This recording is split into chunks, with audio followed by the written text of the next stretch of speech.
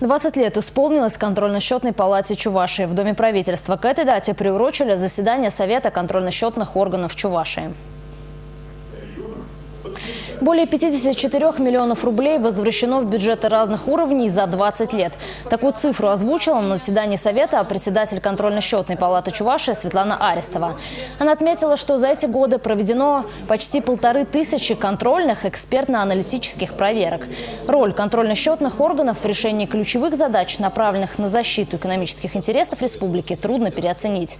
Основной задачей на 2017 год остается необходимость соблюдения, финансовой дисциплины, от вложенных бюджетных средств приоритетные проекты в здравоохранении, образовании, дорожном хозяйстве и ЖКХ обязательно должна быть отдача.